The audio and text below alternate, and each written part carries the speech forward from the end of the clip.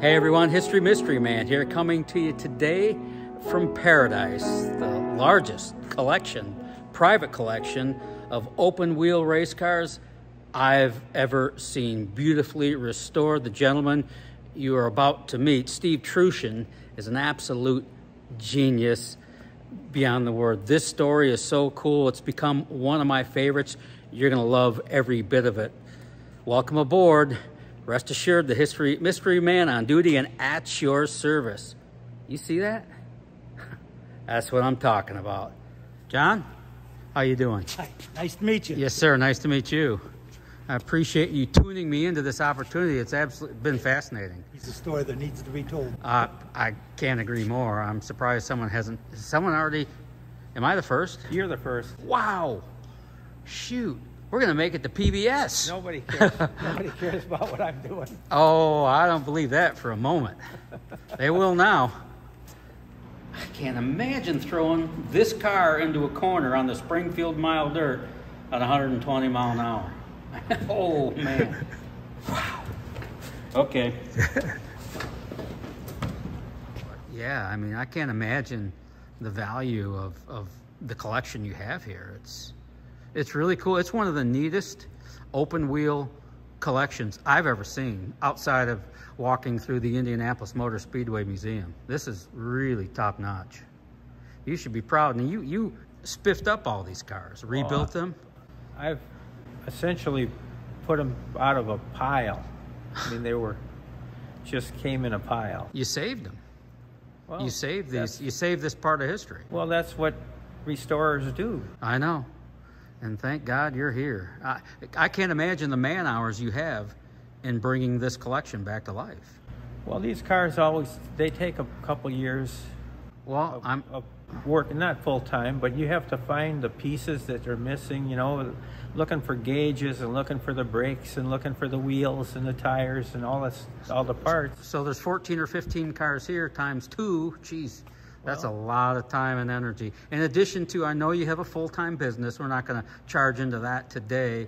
But I guess for starters, I really admire you for having the courage and the energy to bring all this back to life. You have the full-time job, a business you run that your dad started. That's a cool story in itself. But I guess I don't know where you find the time and the energy to bring all this to life. There's a lot of hours in a week. Okay.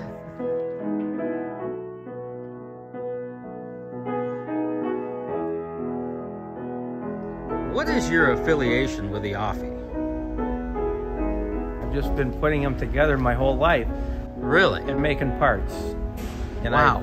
I, I oh, my dad worked on those engines, and as a kid, I worked on them, and and uh, then I started kind of in earnest working on them about 30 years ago, 35 years ago, and people were asking me to put things together, but we didn't have any parts, so I started making patterns and making castings and machining them, and um, so I mean that's what I do, and I, I thought this was all going to run out of gas years ago. But, That's funny. it didn't, are, did it? People are still wanting this stuff. Oh my God, that's amazing. You know, I was going to ask about, you know, how do you get Offenhauser parts these days, but you in fact machine your own, yes? Is that what I'm hearing? Yes, a lot of stuff, and I'll show you that. Yeah, that's super interesting. And really, I don't try to do a whole engine. but I just make the parts that I need for what I'm doing. Sure. But but over the years, I have patterns for most of most everything. Where did you get those patterns? Made them. You made your own Well, patterns. ex- except that I do have some original patterns. I've, I've got an original pattern for a, a 36 degree turbocharged block, and I have patterns, original patterns for a 255 or 270 block. Um, we made patterns for a crankcase, uh, front cover, gear towers, the side plates, the seal plates. So most of the engine I do have, um, I, I have the ability to make these pieces. yeah. Most of the things that people bring me is they'll bring me a pile of stuff. That It used to be an Offenhauser. Well, there used to be several Offenhausers. And, okay. And maybe they don't fit together very well, and maybe they're Yeah. short a few things. Yeah. That's um, where your expertise comes in then. Yeah. That that is so cool. I it's it's just interesting to me that there's still a demand for Offenhauser parts, Offenhauser engines, the machining, the whole thing. It's uh, pretty amazing to me, too. Can I catch the Uh, phone? oh, sure, absolutely. So, Steve, I know you have a beautiful collection of race cars going way, way back, including this one. I guess, did your dad drive this one? Yes, uh, my dad drove this car before World War II. Um, it's a, it was, it's considered a big car, which would be like a sprint car today. Sure. And uh, An Indy car back in the day. yeah, he was uh, track champion in this car at Hammond in 1940. Um, ran it at Milwaukee, Fort Wayne, Dayton, Winchester. Um, and he won the 3A race at Jungle Park in it in 1941. Wow. Which They they had this Jungle Park reunion a few years ago. They had they had it for several years, but it kind of went away. I think now. I think the pandemic did it in. Yeah, the pandemic did a lot of things. And there was a guy that wrote the book on Jungle Park. I have that. Uh, is it Tom Williams? Yes. He lives uh, just a few miles from me. Does he? And I didn't know it, but I know now. Well, I've talked to him from time to time. Interesting guy. Yeah, and he's the guy that gave me this big picture of my dad winning the race. Really? And do you have that picture? I have the picture Oh, cool, here. cool. So I want to see the. Go ahead. I'll show it to you later. You can right. take a picture of the picture. Lift the hood on this thing. I want to see this. Okay. Now, it looks kind of like an Offenhauser, but it isn't. What are we looking at here? Well, this is a Miller. Um, it's Miller. a 220 cubic inch Miller, um, and it has a supercharger on it that was put on this car and or put on the engine in 1935. It ran in 35 and 36 in the 500 with the supercharger. It had supercharger problems both years, so it didn't finish that well at Indy. But we, my dad, in 1937, my dad bought all of Shorty Cantlon's 220 stuff. He actually he traded him a, a brand new 1937 Ford for it, and we have the original engine, the, the first 220, in his other car, and I think that's pretty well documented that that's the first one. And this is one of the early engines, and this is really the forerunner of all the Offenhausers. So. Exactly. The Offenhauser is an evolution of the Of the Miller, Miller, built right. by Harry Miller. And I want to set this up just a little bit, so so bear with me on that, and you can chase it on the other end. But so so, a guy named Fred Offenhauser goes to work for Harry Miller in 1913. Offenhauser's just a kid in, in his young 20s. Uh, Offenhauser works as a machinist for Harry Miller. Well, in the 1920s, the Miller engines and the Miller cars literally dominated the 500. They won like I think 12 500s with the engine, nine with the car. Three of the Miller engines were in another car. Just and, and Fred Offenhauser was up close and personal to that era, the Miller, which dominated at the Brickyard through the 1920s. Just, I mean, 80% of the fields then were, were Miller cars. Yes. So, so, and then uh, uh, Miller goes belly up in the Great Depression, 1933.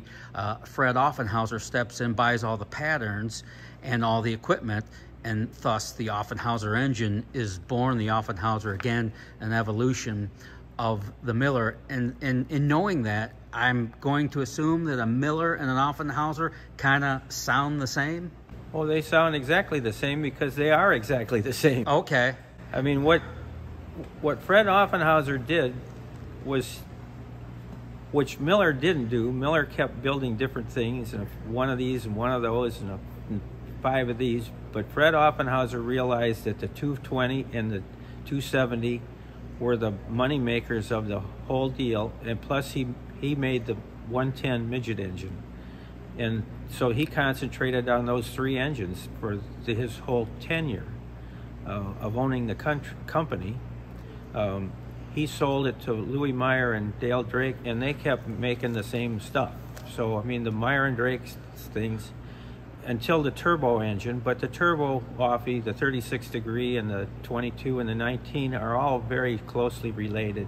They're built they're built in exactly the same way, just some of the dimensions are different. I got you. So I think in, in, I think it was 1941 when Fred Offenhauser says, "Well, I'm going in a different direction. I'm going to start building the Novi engine up in Novi, Michigan." Yes. And then, as you mentioned, uh, Louis Meyer, three-time winner, first three-time winner of the Indy 500, in partnership with Dale Drake, purchased the Offenhauser brand in 46 and they ran with it. And that's where its greatest success came. I think Offenhauser won 24 of 27 Indy 500s through the 50s and 60s. Just I mean, the story is beyond beyond cool. Uh, well, there's there's our history lesson today. I won't I won't bog you down too much with history, but I do want to see the rest of the collection. Well, this you're, is you're the history mystery man. well, that's true, but I don't want to bore the viewers at home. But I I think we're off to a great start here. So that's a Miller engine. You know, we we brag about the Offenhauser. I've always said the Offenhauser. To me, I've never heard of Miller. I know it's the same initially, but the Offenhauser engine, growing up as a kid, was the greatest engine sound I ever heard, and it still is today. well, I think you'll hear one today. Oh, good. Oh, oh, oh, boy, that is exciting. so cool. What, what, I mean, a Miller engine like that, can you put a value on it? I mean, gosh, who's building Miller engines these days? Is there anyone else out there besides you? Well, I guess there's a few people that are goofing around with things, but um, you know, there's there's the market is really not large to go into mass well, production. okay, I I understand, but the for the Miller anyway. But is didn't we not cover that the Offenhauser market is is holding up pretty well all these Well, decades I- later? Well, I mean, you can't sell a hundred thousand of them, but you I get could that. sell a couple a year, Okay, I, I'm I'm good with that. maybe maybe four or five. Oh, excellent. Is there anyone else doing what you're doing? You know, building, rebuilding Millers and Offenhausers and Well, there's some people assembling things, but I, I make a lot of parts, which kind of gives me a head start in the process. so if someone else is going to rebuild an Offenhauser engine, at some point they're going to come visit you for parts. Probably. Wow, that's super interesting. So, I mean, I, I absolutely love this car. The Boyle, I mean, I, that that Boyle Products, I know was on a lot of Wilbur Shaw's cars uh, when he was winning at the Brickyard. But uh, what what are we looking at here? This is a 1931 Miller that uh, Boyle bought new. Um, it started its life out as is a straight eight car. It was a big called a Big Eight. It was a 230 cubic inch straight eight. Um, Cotton Henning took the eight out of it in 1935 and put a 270 engine in it, um, which had been an Offenhauser engine at the time, a 270 Offie. Um, and Bill Cummings drove it as the national champion for several years. Wow. Um, now, stop just for a second. Bill Cummings, we're talking the guy who won the Indianapolis 500 in 1934. That's correct. Wow. But it wasn't in that car. It wasn't in this car. No, uh, in 1934 you had to have a two-man car at Indianapolis. So riding mechanic had to go along with the driver. I never, man, I never understood that. Can you imagine being a riding mechanic in one of these machines? Just, Well, I think uh, most of them died, and because they were the first guy to the wreck. Oh. uh, I think they finally ran out of riding mechanics. yeah, or some the people that actually would do it. Right. You know, I mean, because death was, I don't want to say almost certain, but it, the high probability of losing your life uh, was certainly all around. Well, the riding mechanic was supposed to pump the fuel pump, and he was supposed to look out in the back because they didn't have any rear view mirrors. But they had already re- they had already invented a rear view mirror um, on the Marmon that won the first 500. It was a single man car, and it had a rear view mirror. Right. The invention of That the was the rear view mirror invention. isn't that cool? The rear view mirror, which we take for granted today, was invented in the first ever Indianapolis 500 in 1911 with Indiana boy Ray Harroun at the driver's wheel. That, that, that's a cool story in itself. I mean, I, I love it. So Bill Cummings d- drove this car to a national championship? Yes. That is cool. Didn't didn't you tell me that uh, Louis Unser drove this thing also? Louis Unser drove this at Pikes Peak.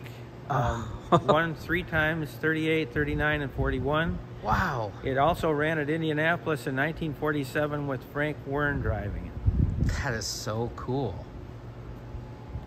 I won't hit you hard on the values, but I mean, I- can you put do you even can you put a value on something know. like? I have no idea with the That's value okay. of anything. I got you. Whatever someone will give it, give I, you for I it. I guess. guess. you know if you look at things that sell, it's all over the place. It, depends on whether there's two people that want it. I guess. I gotcha.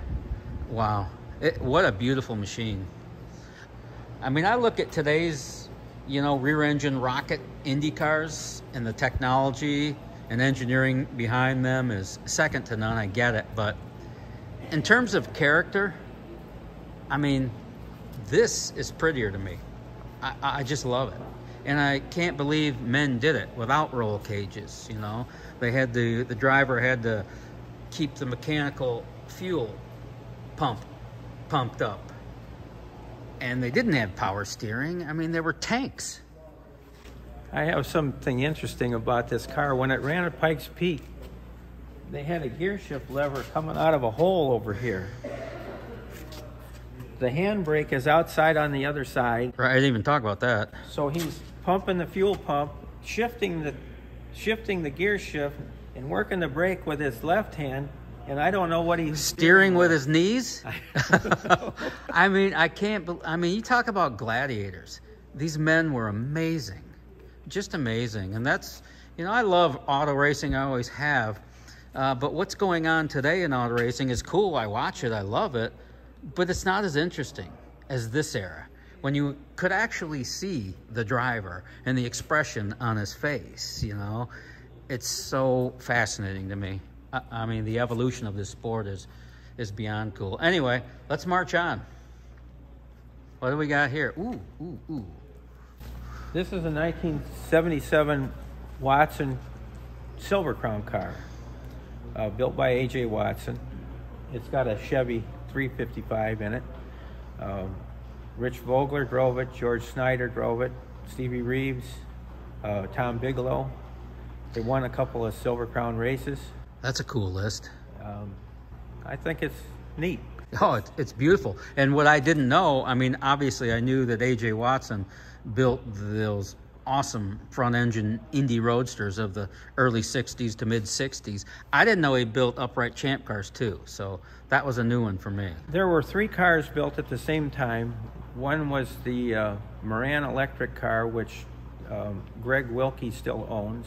And uh, the other one was the Plastic Express car that Chuck Gurney drove most of the time. I don't know. That was the black number the black 30. Number 30. The other one is white. I, is a white number seven, I think. I, I remember that black number 30 that Gurney drove, but and you say it was the exact replica of this car. Well, it, they were both built.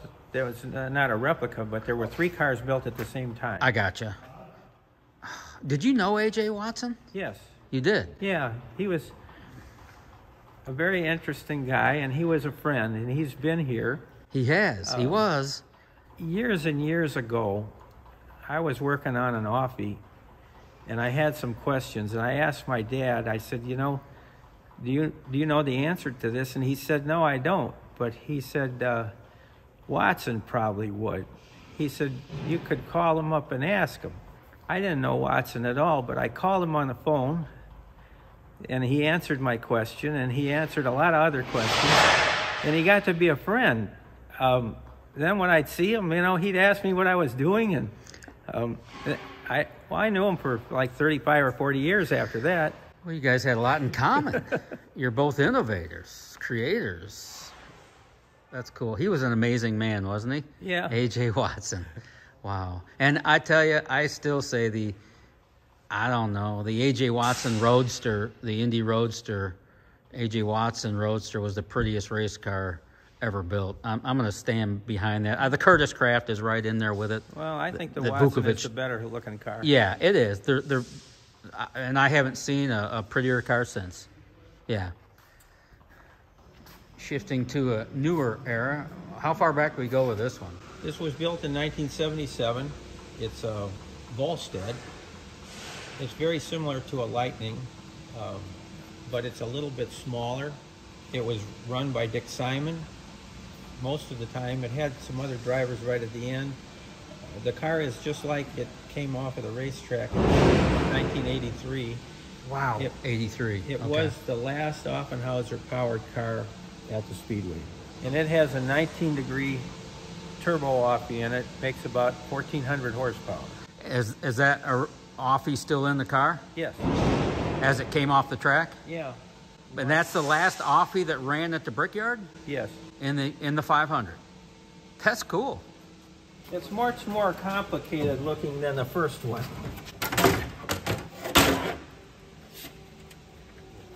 Well, you can hardly see the, the, the engine for all the plumbing.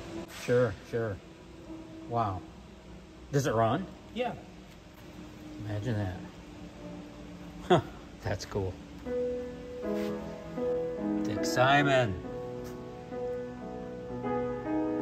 He was a real trip. He's a quite an interesting guy. And Dick's still alive, isn't he? Oh yeah. Uh-huh. I'd love to meet him.